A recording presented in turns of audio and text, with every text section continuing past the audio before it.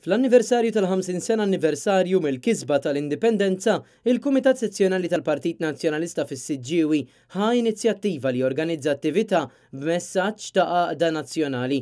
L-attività fil-forma ta' diskussjoni se jkollha t-tema Ħamsin Sena Indipendenti, It-Triq 'il Quddiem.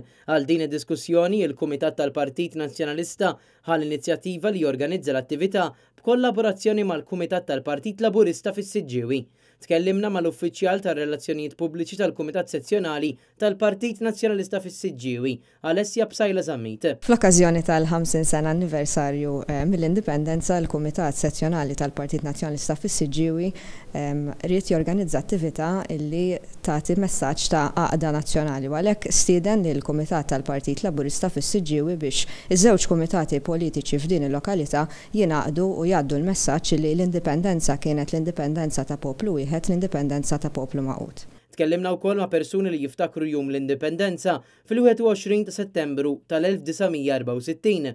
Fil-ġurnata, jiena u l-mara konna għadna miżewġin friski, ħadna lil ommi li kienet anzjana u l-qofol sintenti tal-ċelebrazzjoni kienet l-inżul tal-bandiera Ingliża u t-tlugħ tal-bandiera Maltija. Dak kienet l-isbaħ mument tal-Indipendenza. Però kien hemm ukoll avveniment ieħor importanti meta Borg Olivier, Prim Ministru ta' dak iż-żmien, minn fuq il-palk beda jgħolli l-ktieb tal-Kostituzzjoni, konna nsejħulhom l-istrumenti tal-Indipendenza, biex juri li l-poplu Malti li issa verament il-pajjiż huwa indipendenti. U meta rajt dik il-bandiera tiela' tgħidx kemm bdejt nikbi.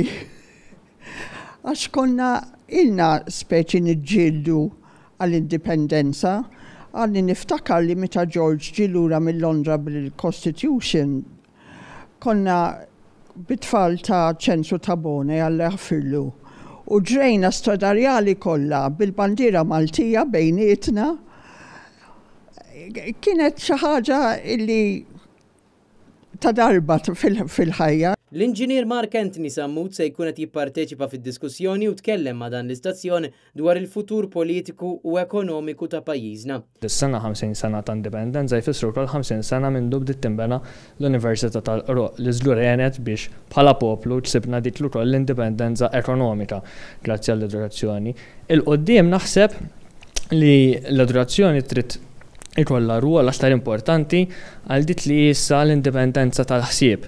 Id-diskussjoni se ssir nhar l-Erbgħa 24 ta' Settembru fis-sebgħa ta' filgħaxija fil-bini tal-Kunsill Lokali fi Pjazza San Nikola fis-Siġġiewi.